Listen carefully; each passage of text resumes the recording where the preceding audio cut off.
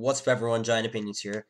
Uh, some breaking MLB news. The David Price and Mookie Betts trade has finally been finalized. It is restructured, so the Dodgers are getting, obviously, David Price and Mookie Betts, and in exchange, the Dodgers are sending over Alex Verdugo, Connor Wong, and uh, Jeter Downs.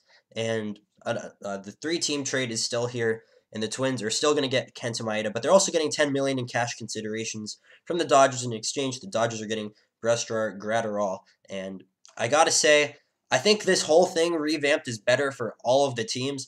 Boston is getting way more players now, and I think it'll it will help Boston. I heard that uh, they were really they were really intrigued by Jeter Downs, and he reminds them of uh, Dustin Pedroia, the type thing. He put up some really solid numbers in Double A too, so he is ready to get called up in the next year probably. So it could fit a position of need for the Red Sox, and then obviously uh, Connor Wong, he actually does all right too. He's not that bad. Uh, the Red Sox are still kind of building for the future, so I do like it from their standpoint. The Dodgers, obviously, you got Mookie Betts, top five player in the MLB, arguably. You got David Price, who's who's had a nice little bounce back. He's obviously not a Cy Young self again, but he's still a pretty above average starting pitcher. And uh, the Red Sox are going to be paying half of his remaining ninety six million.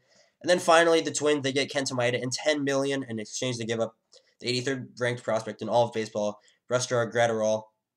Uh, now I mean, the Twins, they were really intrigued by Kenta Maeda. I can't really blame them. They did give up uh, a really good prospect, but I'd say that the Dodgers kind of need a lot of relief help, and the Twins, they kind of uh, they're they're doing okay right now. They can afford to give him up, and I think he will. I think he'll fit with the Dodgers really well. He'll probably get called up this year. He could be their closer at some point. You never know.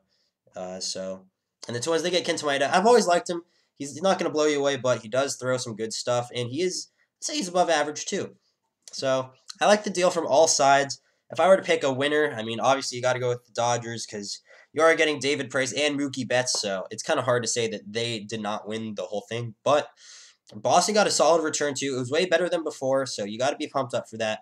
And then the Twins, honestly, the Twins they kind of won here too, getting ten million and Kenta Maeda uh, for a prospect who didn't really fit in their system or, or on in their organization. I th- say that's a pretty good win. 10 million and then a starting pitcher to help you.